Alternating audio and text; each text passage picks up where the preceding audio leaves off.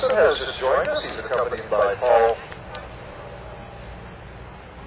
Paul Mashaniak and uh, Judy Ballin, accompanying Todd Wilson today. They're in the Realty Executives tent. They'll be accepting the salutes from the riders. Welcome, Todd, and hi to Paul and Judy. We've just begun your class. You've only missed a couple of rounds. This is round five.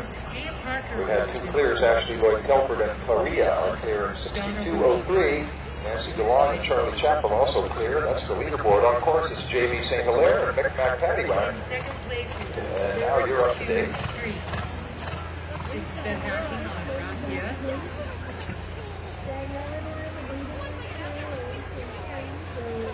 In third place, 808 Haley Helm on Protege. Haley, where are you?